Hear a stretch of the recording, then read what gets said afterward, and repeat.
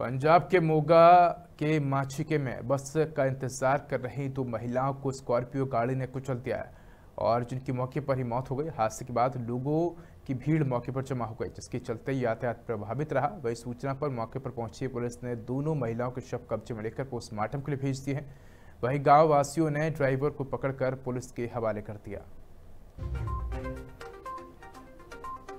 ਇਹ ਸਾਡੇ ਅੱਜ ਪਿੰਡ ਮਾਸੀਕਿਆਂ ਦੇ ਬਾਡੇ ਤੇ ਮਾਨਸਾ ਤੋਂ ਗੱਡੀ ਮੋਗੇ ਵੱਲੋਂ ਆ ਰਹੀ ਸੀ।